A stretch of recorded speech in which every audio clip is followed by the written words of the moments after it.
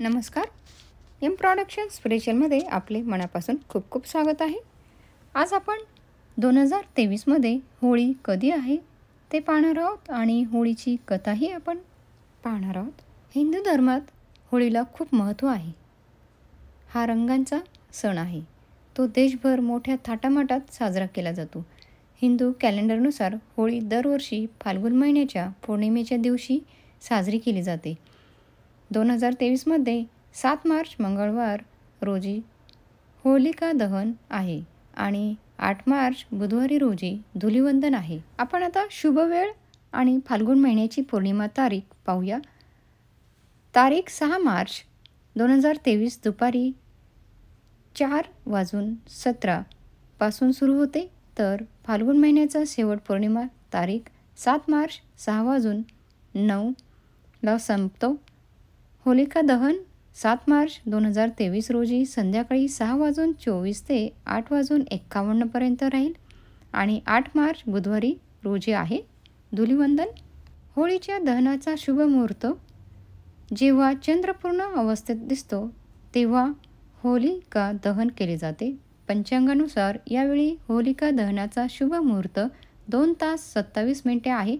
होलिका दहन सात मार्च दोन हजार तेवीस रोजी संध्याकाळी सहा चोवीस ते आठ एक्कावन्नपर्यंत करता येईल. होळीची पौराणिक कथा आपण आता पाहूया. पौराणिक कथेनुसार प्राचीन काळी हिरण्यकश्यप नावाचा असुर राजा होता. गर्वाने तो स्वतःला देव म्हणू लागला होता. हिरण्य कश्यपाने आपल्या राज्यात फक्त देवाचे नाव घेण्यास बंदी घातली होती आणि स्वतःला देव समजू लागला होता. पण हिरण्य कश्यपचा मुलगा प्रल्हाद हा भगवंताचा भक्त होता. दुसरीकडे हिरण्यकश्यपची बहीण होलिका हिला अग्नीत भस्म न होण्याचे वरदान लाभले होते. एकदा हिरण्यकश्यपने होलिकाला प्रल्हादला तिच्या मांडीवर घेऊन अग्नीत बसण्याची आज्ञा दिली. पण आगीत बसलेली होलिका दगावली आणि प्रल्हाद वाचला. तेव्हापासून देवाचे भक्त प्रल्हाद यांच्या स्मरणार्थ होलिका दहन सुरू झाले. आणि भाविक होळीच्या दिवशी या पवित्र अग्नीची पूजा करतात. धुलिवंदन दोन हजार तेवीसमध्ये आठ मार्च बुधवारी रोजी धुलिवंदन आहे. या दिवशी लोक वेगवेगळ्या रंगांची होळी खेळून आनंद साजरा करतात. प्रत्येक राज्यात धुलिवंदन साजरी करण्याची प्रथा वेगवेगळी आहे.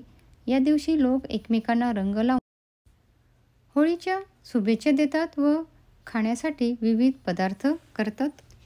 आणि आपल्याकडे महाराष्ट्रामध्ये पुरणपोळी ही होळीला केलीच जाते.